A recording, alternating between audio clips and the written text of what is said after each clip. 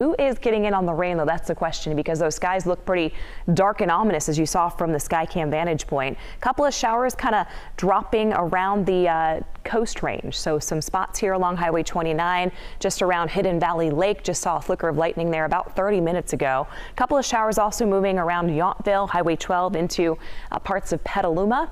And also I'm tracking a couple of areas of isolated showers around parts of Mariposa County and down Highway 49, traveling east there of Oakhurst and really around Yosemite Lakes area. Then also coming down the I-5 stretch here, Patterson, Newman, Newman finally getting in on some of those light showers I've been talking about for about the last hour and a half. We're going to be seeing the widespread chance of everybody maybe getting a brief shower into the afternoon. Once we get beyond about lunchtime, most of the uh, shift there in the rain is going to be covering the Sierra. So that's going to be a better chance for a shower or a thunderstorm. Tomorrow morning, we're going to wake up and we'll probably see more breaks of sunshine.